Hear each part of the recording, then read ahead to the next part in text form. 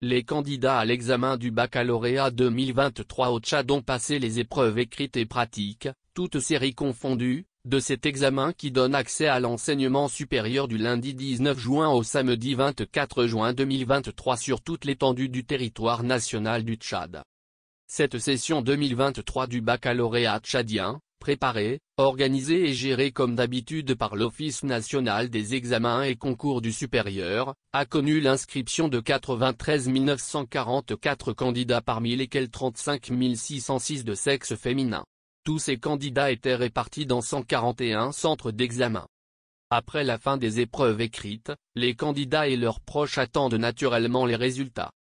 Selon le calendrier des examens du baccalauréat de l'enseignement secondaire général et technique pour la session 2023 rendue publique par l'Office national des examens et concours du supérieur, les résultats du premier tour du bac 2023 au Tchad sont prévus pour le 19 juillet 2023.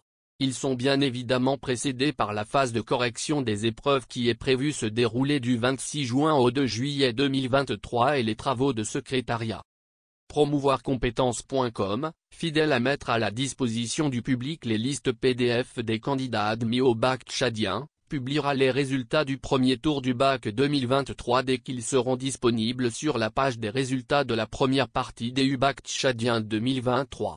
Les candidats et autres personnes intéressées par les résultats du bac 2023 au Tchad sont priés de revenir régulièrement sur promouvoircompétences.com. En rappel, pour la session 2022 du baccalauréat tchadien, les résultats ont été proclamés deux semaines avant la date prévue.